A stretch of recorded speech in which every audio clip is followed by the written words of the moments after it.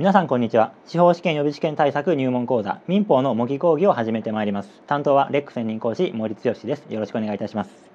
はい、それでは今回ですね、まあえー、入門講座民法の、まあ、模擬講義ということでちょっと虚偽表示について取り扱っていきたいかなと思っております。まあ、基本的なところから、まあ、さらっとおさらいしていくっていうイメージですのでよろしくお願いいたします。で、えー、まあ、こちらが今日使うレジュメなんですけどもまず虚偽表示とは何かというところで、まあ、条文から確認していきましょう。えー、民法94条1項にはですね相手方と通じてした虚偽の意思表示は無効とする2項には全項の規定による意思表示の無効は善意の第三者に対抗することができないというふうに書いてますね。で、まあ、この条文の意味からさっと確認していくんですけども、まあ、意思表示っていうのは、まあ、一定の法律行為に向けられた意思の外部への表明のことを言いますので、まああのー、普段言ってる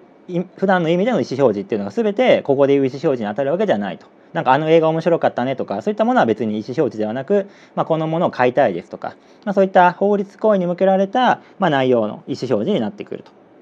でまあそれで相手方と通知でした虚偽の意思表示ってまあ何かっていうと、まあ、実際はそんなものを売り買いする気もないのに売り買いしたことにするそれを相手とまあ約束してそういったことをするってイメージなんですね。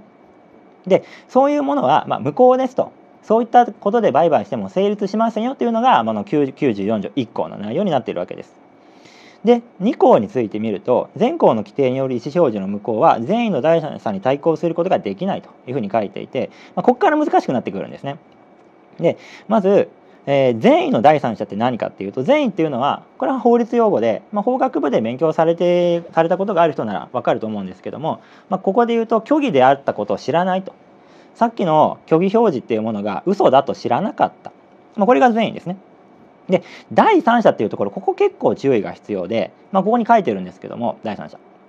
えー、虚偽表示の当事者及びその包括証券人以外のもので虚偽表示の目的につき新たな独立した法律上の利害関係を有するに至ったものを言うということで第三者のこのこれ定義なんですけどもこれ結構大事です。これ覚えた方がいいです。でまあここでつまずかないように注意してほしいんですね。第三者っていうと一般的にはなんか自分以外の人のことを第三者関係ない人たちのことを第三者とかって言ったりしますけどそういった意味ではないと多少関係のある人なんですよね。で虚偽表示の当事者これはまあや虚偽表示の約束してる人なので、まあ、これは当然除くと。でその包括証券包括証券人以外ですね包括証券人以外のものっていうのはえー、まあその当事者の地位を丸ごと受け継いでる人って意味なんですよ包括証券人って。ある人の地位を丸ごと受け継ぐってどんな時かっていうとこれ相続とかですね、まあ、そういった相続した人たちは除きますと。でそれ以外の人っていうのがまず第一条件です。で虚偽表示の目的につき新たな独立した法律上の利害関係を有するに至ったものでここについてはまた次改めてですね次のレジュメで説明するので、まあ、一旦はそんな定義があるんだなと思ってください。でもこういうふうに第三者って言った時にそのまま第三者みんなじゃなくって一定のものに限っているので、まあ、制限解釈しているという理解になります。で次に対抗することができないというふうにあるんですけども、まあ、この対抗することができないっていうのはさっきの94条1項だと、まあ、嘘の約束でやったことって無効だって話だったんですけどこれを当事者同士があれは無効だからなしなんですよって言えないってことですね無効であることを主張できないとこれが対抗することができないという意味になってきて、まあ、ここでちょっと、まあ、抽象論を話してもしっくりこないと思うんで、まあ、具体例典型例から見ていきたいと思いますで典型例見ると A は債権者からの差し押さえを免れるために友人 B と通報してまあ、通報っていうのは約束をして嘘の約束をしてみたいなことなんですね。で、えー、A が所有する不動産の B への、えー、売却を偽装し登記登記っていうのは法務局の登記簿の記録のことなんですね。不動産が誰のものですよって他の人にも分かるようにするためのものです。この登記を B に移転したと。これなんでこんなことするかっていうと A ってここに書いてるように債権者からの差し押さえを免れたいんですね。で債権者っていうのは、ま、お金を請求できる人のことなんですけども土地っていうのは、まあ、土地とか不動産っていうのは債権者からしてみれば、まあ、あってほしいものなんですよ。これなぜかっていうとまああのー、お金を請求する時にその人のお金がなかったら、まあ、強制的にお金をどうやって取るかっていうと、まあ、土地とか建物とか持ってたら、まあ、そこから回収するってことを考えるんですよね。だから、まあ、そこを差し押さえ差し押さえたりすることもあるんですけどもでもこれ差し押さえできるのは A 自身が持ってる不動産に限られるのでこの A 自身が持ってる不動産を他のものの人にの他の人のものにしてしまえば A は不動産を免差し押さえを免れるんですよ。でそこで友達と通報してちょっと俺のものじゃなくしたいんだよとちょっと少しの間お前のものにしてくれないかってことで売買があったことにして登記を移転したというこれがまあ虚偽表示の典型例です。で、えーまあ、ちょっと分かりやすく板書を作りましょうかね。ちょっとじゃあ板書作りますね。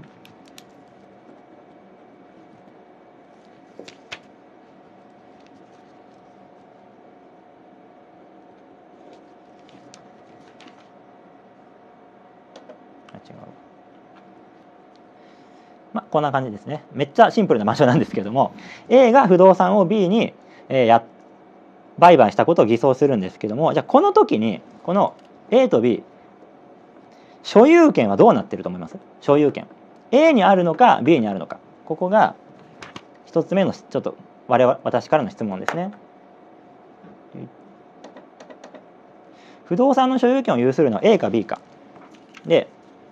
正解は A です。この人が所有権があると。ただし登記はこっちにあるんですね。登記と。ちょっと見づらいですかね。登記。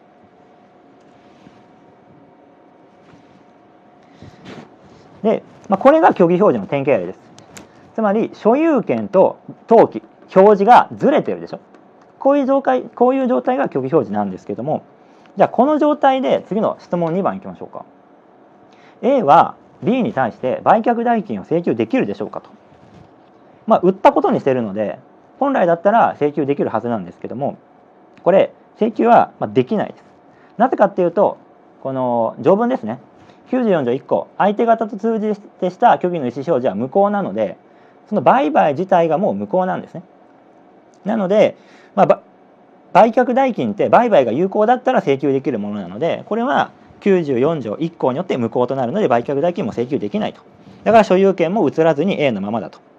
いう状況なんです。で虚偽表示が、まあ、問題になりやすいのはこの次の3番なんですね。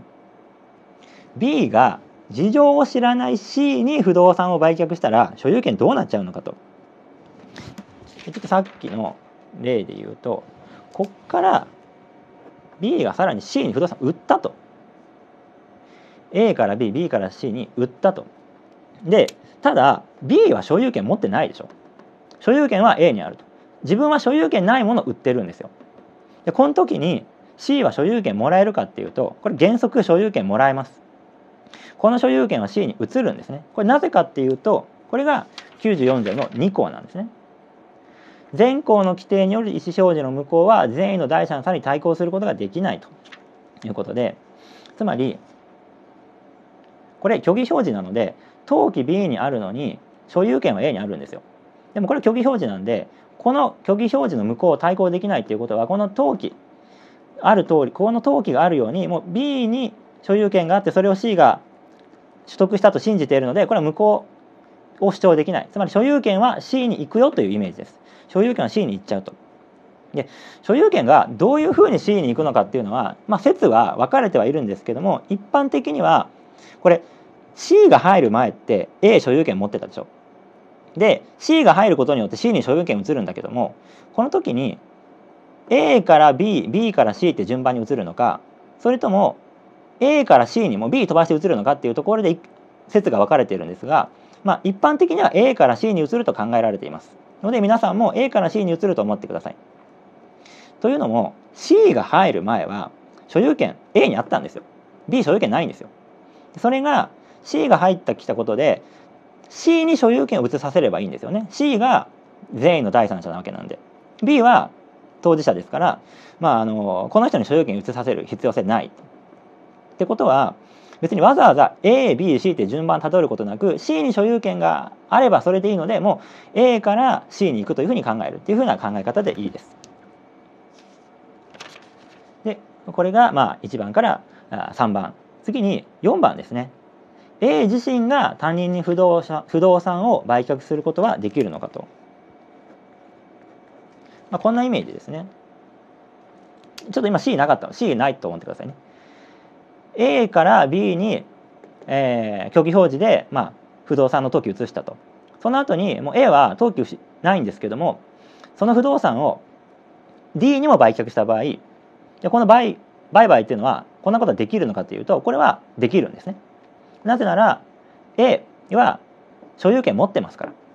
B に移したっていうのはあのー、これ虚偽表示なので無効なんですよね。で C が現れることによって初めて C には対抗できないので、まあ、所有権がこっちに移っちゃうんですけども C が現れるまでは普通に A は所有権持ってるわけですから普通にこれを自分の所有物を D に売ることはできます。なのでこれはできるということですね。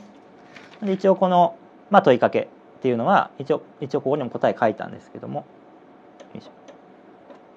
映りますかね。こういう感じですね。はい。ちょっと話しすぎましたね。えっと見えますかね。答えとしては1番は A2 番はできない3番は原則 C が取得する、えー、4番はできるというのが答えになります。でここは虚偽表示のも基本になるのでここはさらっと自分の中で理屈とセットであの解読できるようにしてもらいたいんですねこの1から4については。どういう理屈で丸1丸2丸3丸4っていう答えになるのかっていうところも含めてまずしっかり理解することここが虚偽表示の一番最初のステップです。条文の意味をしっかり理解すれば1234の答えが自然に出てくるはずなので、まあ、ここはしっかりと、えー、理解してするようにしていただきたいなというふうに思います。ここまで大丈夫ですかね。これがまあ競技表示の典型例っていうところのおさらいでした。じゃあここからですね次の項目に移ってまいります。第三者とは何でしょうかと。さっきも言ったように第三者っていうのは、えー、ここに定義をもう一度書いてるんですけども、えー、虚偽表示の当事者及びその包括証券人以外のもので虚偽表示の目的につき新たな独立した法律上の利害関係を有するに至ったものと。でこれは定義なので、まあ、覚えなくてはいけないいけないので覚えようというふうに書いてるんですけども、まあ、この表現があの全てではないので皆さんが使っている本とかによっては違う表現で書いていることもあると思うので、まあ、その表現でも構わないんですがとにかく第三者とは何かと言われたら、まあ、こういう内容が書けるようにはしておいてください。でこれはなぜ書かなきゃいけないかっていうと一般的に感じる第三者のニュアンスと違うんですよね。みんながみんな第三者なわけじゃなくて、まあ、ある程度の条件満たしてないと第三者になれないさっき言ったように、まあ、制限解釈してるわけですからどこまでを第三者と考えるのかっていうのはこれあの論述式の試験だと、まあ、必ずと言っていいほど書かなくてはいけないのでしっかりと書けるようにしてください。でじゃあなんでこんな制限をしているのかとだってそもそも虚偽表示って嘘なわけですからあ嘘ついてやってるわけですからあのまあ無効なわけなんですよね嘘なものっていうのは。ただそれに対して何らかの利害関係持っちゃった人にそれ嘘だから無効だよっていうのは酷でしょっていうのが94条2項なんですよ。つまり全く関係ない人にとってはそれが無効だろうが有効だろうがどうでもいいのでその人に対して対抗するしないっていう話ではないんですね。ある程度の関係持った人にはそれが嘘だから無効だって対抗できませんよっていうのが、まあ、この94条2項なのでその、ま、理屈からいくとこういう制限が来ると。まあ、そこに書いてるように虚偽の外形を信頼して新たな利害関係を取得したものを保護すれば足りるからそこそこさえ保護すればいいから、まあ、ちょっと制限加えたっていうのが、まあ、この第三者の定義です。で、まあ、具体的にどう制限されているかっていうと、まあ、当事者は当然省くでその相続人みたいな包括証券にも省くと。でその次から大事ですね。虚偽表示の目的につき目的って何かっていうとさっきの板書で言うとこの不動産のことですね。この不動産が登記をこっちに移すとこれがこの AB がやりたかった虚偽表示なんですよね。債権者が見た時にあれ？A に不動産の登記ないなって。A 不動産持ってないからこれ差し押さえできないなっていうふうに、まあ、嘘をつくための虚偽表示の目的。これが不動産の登記なわけです。でこの目的につき新たな独立した法律上の利害関係を有するに至ったものでなければ94条2項の第三者ではありませんよということでじゃあ具体的にはどんな人が第三者に当たるかっていうのは、まあ、結構これ試験でも問われることが多いので確認していきたいと思います。で基本的な事例としては、まあ、こういったケースを想定してください。えーはい A が土地公を B に仮想譲渡したという事例ですね。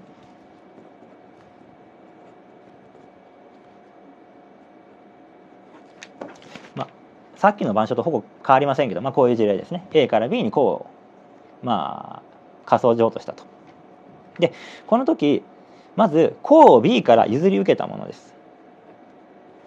例えばこれで言うと C ですかね。これはまあ当然第三者に当たると。だってこの項を B が持っているという虚偽表示の目的について信頼して項を譲り受けるっていう新たな独立した法律上の利害関係を有しているわけですから当然 C は保護されると。じゃあ項に抵当権の設定を受けた、えー、B の債権者とこういうイメージですね。はい。こうですね。えー、とこの項に対して D がこれ「定」って書いてるんです。ちょっと汚くて申し訳ないですけども。D が抵当権設定しましたよと。でこれは B の債権者なわけですよ。だから B, B の債権者 D は B が土地とか持ってたら嬉しいわけですね。でそこに抵当権を設定するってどういうことかっていうと抵当権っていうのはここに書いてるようにですね、えー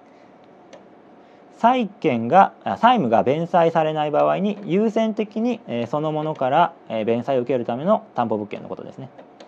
はい、抵当権というのは債務が弁済されない場合に優先的にそのものから弁済を受けるための担保物件を言います。つまり、まあえ、B の債務、まあ、他にも債権者がいた時にじゃあ、えーと、抵当権設定してる人がいたらその人は優先的にその抵当権設定してるものからその価値を自分の弁済に充てることができるのでまあ結構強い重要な権利なんですね。でそれを、まあ、D はこの虚偽表示の目的を信じて設定したってことなのでこれは新たな独立した法律上の利害関係を有するに至ったものにあたるので第三者になります。で今度は項に対して差し押さえっていうのをした、えー、第三者がまたいたとしましょう。今度はこうですね。いいですね。差し押さえましたと。これもまあ差し押さえっていうのはあの弁済さしてもらうためにまあこれを優先的にまあ先に確保しちゃうという感じなんですね。先に確保すると。この項を債権者 E は先に確保するっていう差し押さえしてしまったと。した場合にこれもやっぱり項っていう競技表示の目的について、えー、新たな独立した法律上の利害関係有するのでこれは第三者に当たります。じゃあ次に第三者に当たらない場合見てみましょうか。でこれさっきみたいな債権者と違って B の単なる債権者。これは第三者に当たりません。で単なる債権者っていうのはつまり、まあ、抵当権の設定も新たにしていなければ差し押さえも別にしていないとただ単に、まあ、B に対して、まあ、100万円とか請求する権利持ってる人とかいたとした場合にそれだけだとまあ虚偽表示でいうところの第三者には当たりませんよと。でこれなぜかっていうとこの人ってこのどんな第三者を保護するのが目的かっていうと虚偽の外形を信頼して新たな利害関係を有したものを保護するっていうのが趣旨なんですね。で単なる債権者ってもともと債権持ってただけなんで別にその虚偽の外見を信頼して何かしたわけじゃないんですよ。虚偽表示によって何かこう新たな外観が作出されたと。でそれを期待してなんか新たに法律関係を持ったものを保護するための規定なので単なる債権者は別にそういうわけじゃないのでここに言う第三者には当たりませんと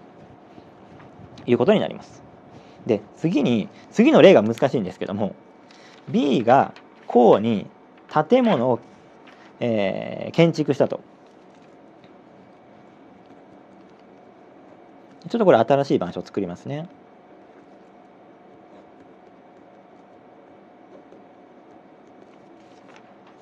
はい、B は A からまあ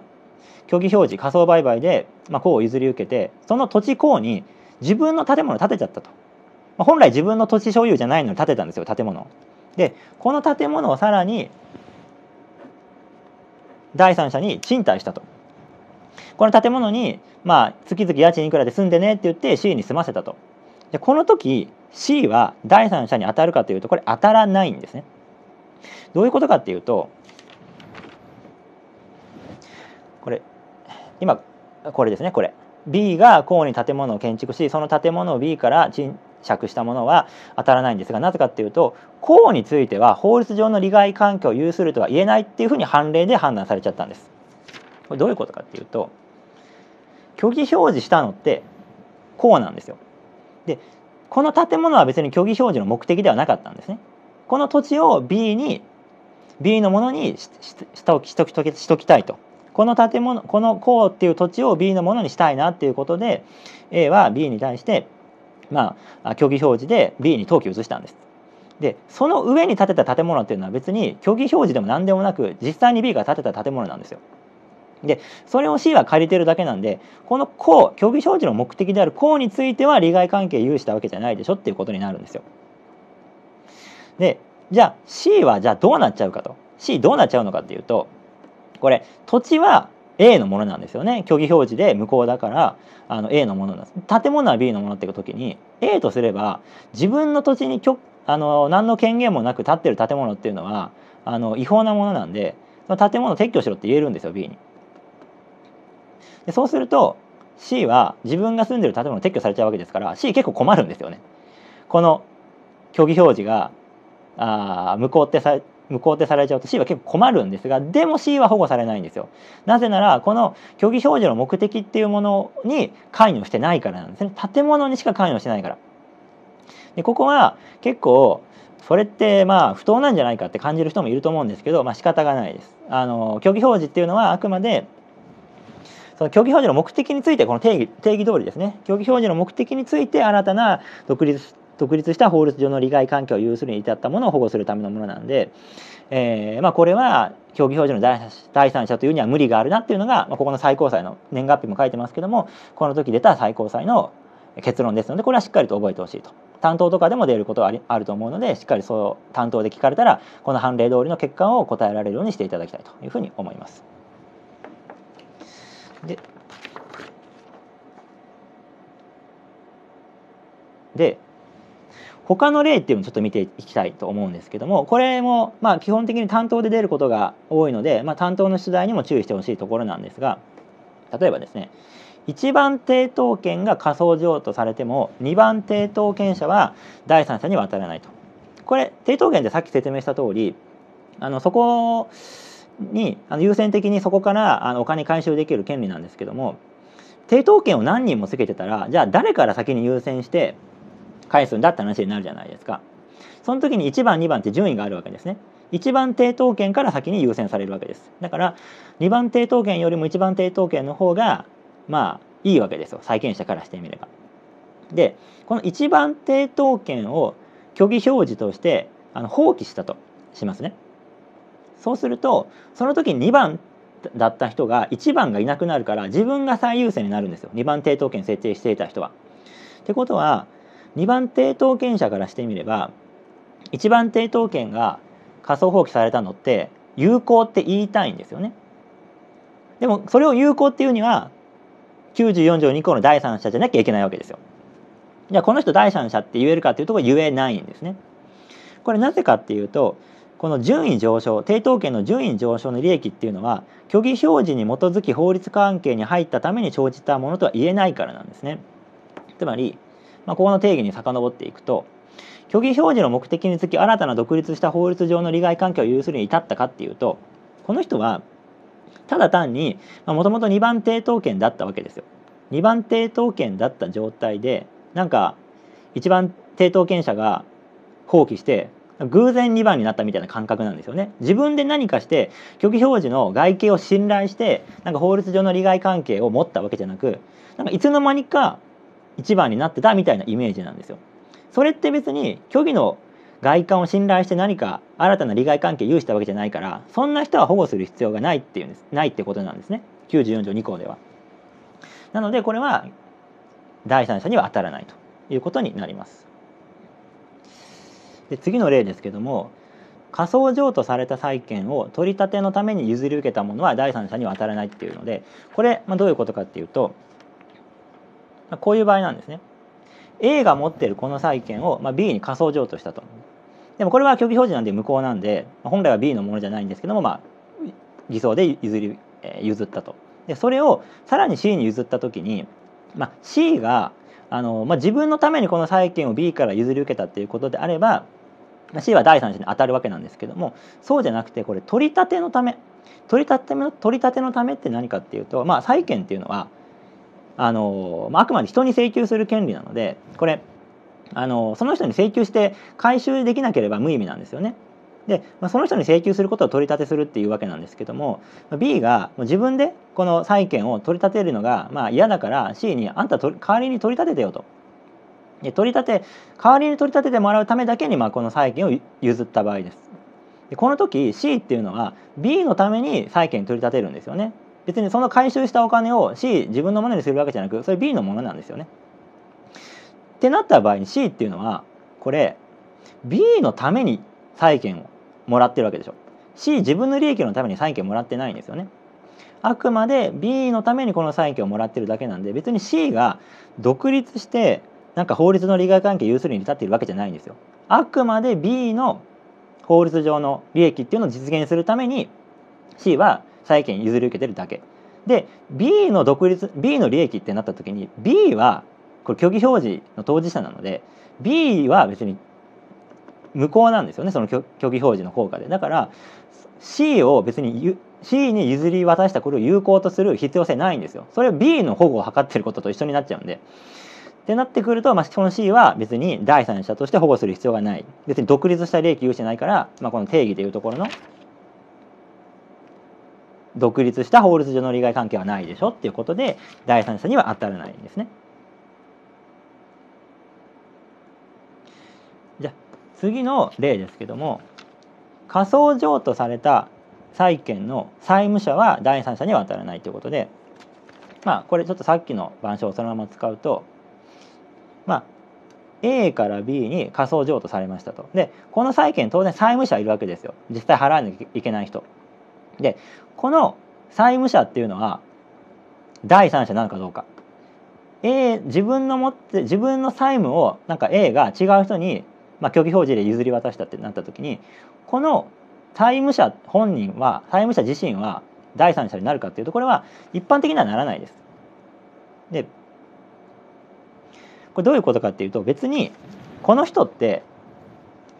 この仮想譲渡された虚偽表示の外観に基づいて新たに何か法律上の利害関係を持つに至ったかっていうとそうじゃなくてもともと債務者だったと。でそれがなんかたまたま競技表示で B に移ってるみたいだけども、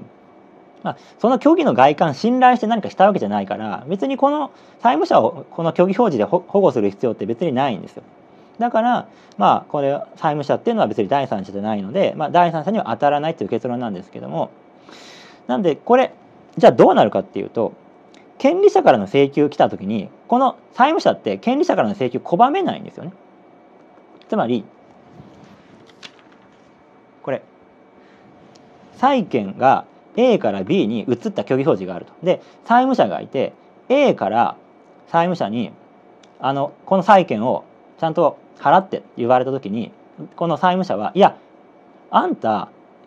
債権 B に移したんだから私は払いませんよとは言えないんですよ。なぜならこの譲渡は無効なんですよね虚偽表示で。で無効を対抗できる第三者じゃないから A から払えって言われたら素直に払うしかないと。いうことです。ただもちろんその前に B から払えって言われて払っちゃってたら話別です。なので弁済前であればその権利者であるさっきでいう A からの請求は拒めないですけども、まあ、弁済してたらそれはまあまさに虚偽の外観信じて弁済したってことなんで、まあ、それはま話別なんですが弁済前だったら、まあ、第三者には当たらないという理解で第三者には当たらないということになりますのでご注意くださいと。で、えその次の例これ今回この中の例の中では一番重要なんですけども悪意の第三者から譲り受けたものも第三者として保護されますと。でこれどういうことかっていうとですね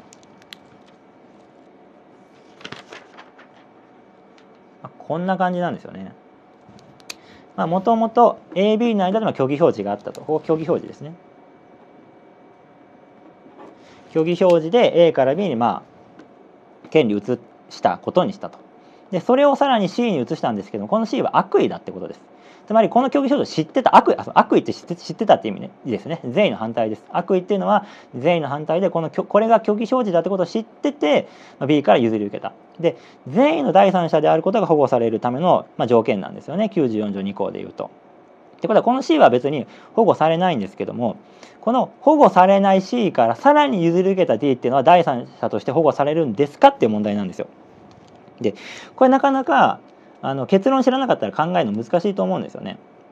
っていうのも定義としては虚偽表示の目的につき新たな独立した法律上の利害関係を有するに至ったものでこの AB 間での虚偽表示っていうのはあくまで B に移すっていうのが AB 間の虚偽表示なんですよね。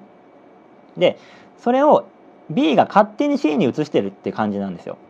だからこの B から C に移したっていうのは AB の虚偽表示とはちょっと違うんですよね。A はそこまで考えてない。別に A と B で通報して C に移したわけじゃなく A と B の通報ここまでなんでじゃあこの C に移ったのは競技表示の目的って言えんのかっていうところがやっぱ問題というか疑問なんですよね。D はそれを信じたわけですからあくまで D は C にあるなっていうのを信じたわけですけどもこの C にあるっていうのは AB がそもそも考えてた競技表示とちょっと違うから目的と言えんのかっていうところなんですが結論から言うと D は保護されます。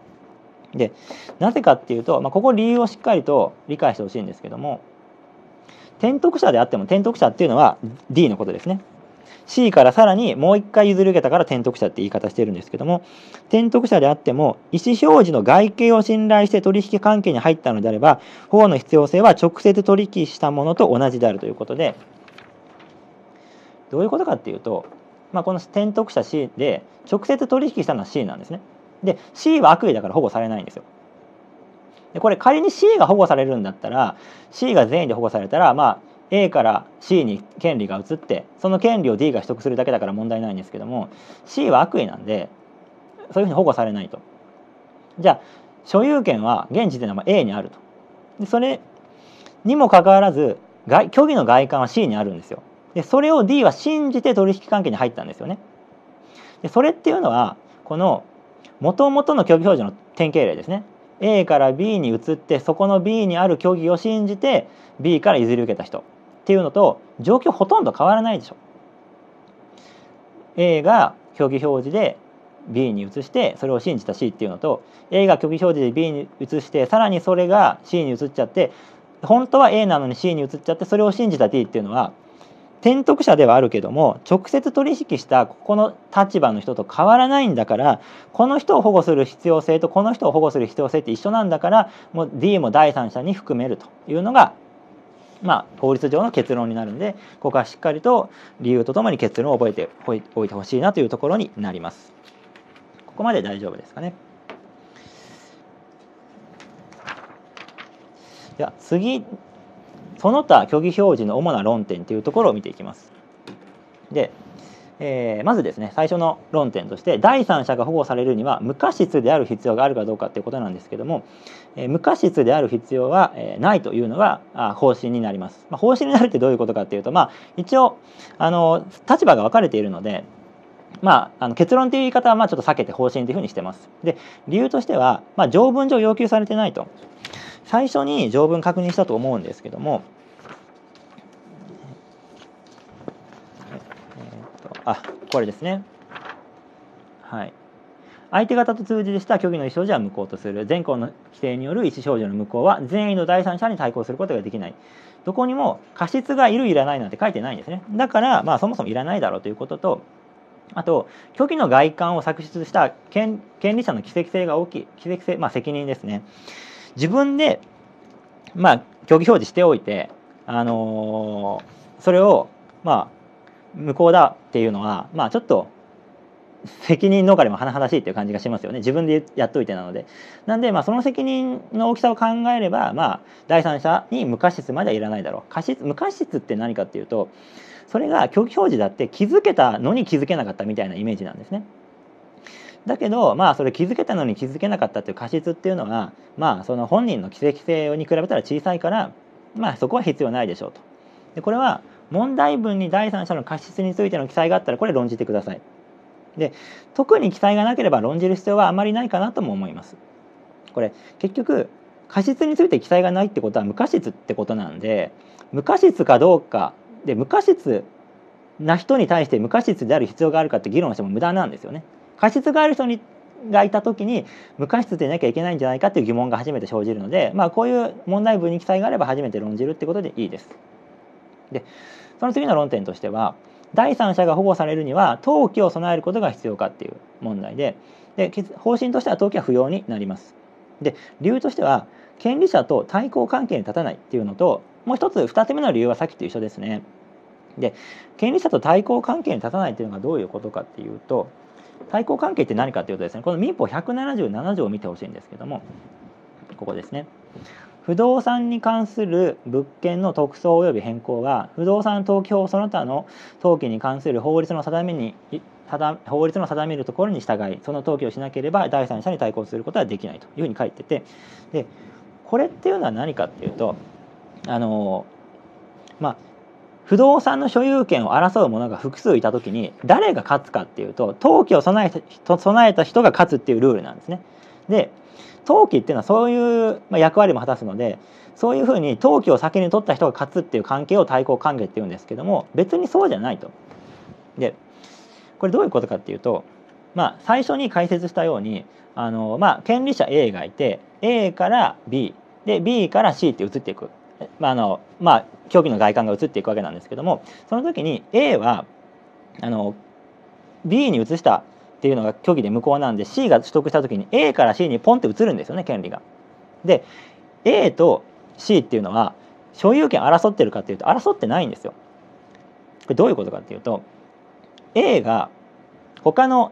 D とかがいて D に移したって時に A から D に移った人と A から C に移った人っていう立場がいたとしたらこの両者って所有権争ってますよね両方とも A からもらったから。でも A と C は単に A から C に所有権移ってるだけでここを A と C が争うのはおかしな話なんですよ。もう C が勝つに決まってますからね。別に A はもう争う立場じゃないから。ってことは別にその A と C の関係では登記は C はいらないだろうってことなんですけども逆に言うと A から C に移った後に A がまた D にも所有権移してた時はこれ A C と D は対抗関係に立つからこれは所有権あ主張したい側は登記でなきゃいけないんですねこれはちょっと話別なのでちょっとご注意くださいでそこに書いてるようになお権利の権利者が他の誰かにも目的物を譲渡した場合には対抗関係に立つっていうこと立つっていうことで、えーまあ、その時はあ登記は必要ということになります。でここに書いてる法定承継取得説って何かっていうとさっき A から B に虚偽表示されて B から C に移った時に A から C に対して所有権が移転するっていう考え方これを法定承継取得説って言います。で逆に A から BB から C って順番に移る考え方を、まあ、順次取得説っていうふうにも言っているんですけども、まあ、基本的には法定承継取得説で考えてくれればいいということになります。で次の論点ですね。善意の第三者からあの悪意の転得者保護されるのかということででさっきこの例あったじゃないですか A から B に行って C が悪意なんだけど取得してそれが善意の D に渡った時に善意の D が保護されるかっていう問題なんですけどもそれとは別で「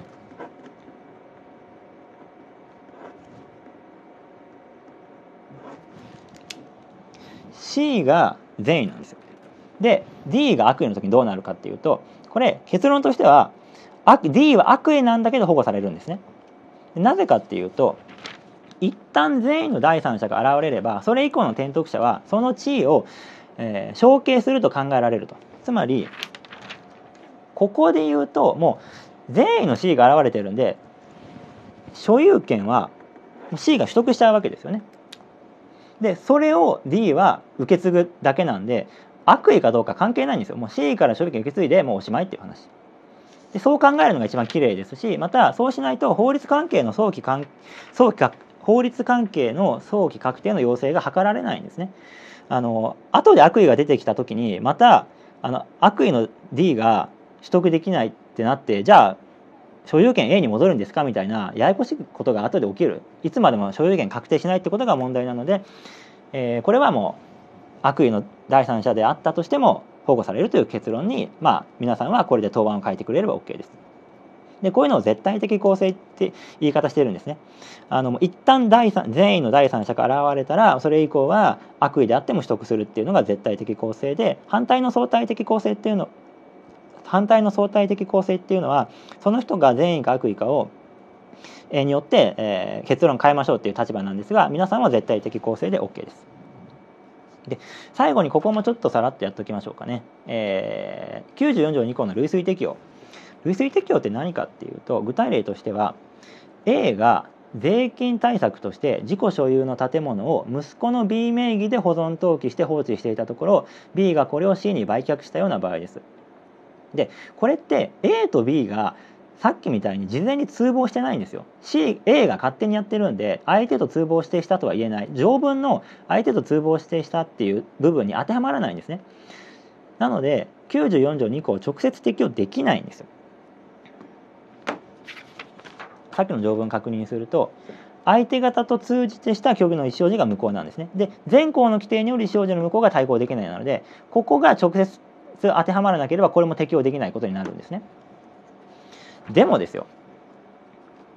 このままだと C が保護されないのちょっとおかしいですよね。だって C は嘘の登記見てそれで信頼して取引したのに通報がなかったからってその C からしたら知ったこっちゃないわけですよ。だからそこでどうにか94条2項類推適用直接適用できない代わりに代わりに類推適用できないかっていう、えー、話なんですね。でじゃあ類推適用するためにはどうすればいいかっていうと3つの要件が必要になってきます。この3つの要件は覚えてください。答案で書く必要がありますから。1つ虚偽の外観の存在2つ外観作出に対する本人の奇跡性で3つ相手方の外観への信頼この3つがある場合には94条類推適用しましょうなぜならこの場合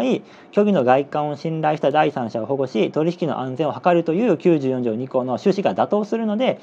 同条項を類推適用するということになってくるわけですね。で、まあ、こういった形この3つの条件が揃った時に94条2項類推適用できるんですがさっき94条2項の論点の中で第三者が保護されるのは無過失である必要があるかということで無過失いらないって言いましたね。で理由としては条文上要求されてないっていうのと外観作出した本人の奇跡性が大きいっていうことですがこの類推適用の場合にそのさっきの理由って直接当てはまらないんですよ。なぜかっていうと条文と違うから類推適用するんであって条文にないからっていうのはちょっと理由にならないですよね直接適用じゃないから。で一方で、えー、虚偽の外観を作出した権利者の奇跡性っていうのは直接適用される場合は嘘のやり取りして虚偽の外観が作出しているからそれは大きいと。ただ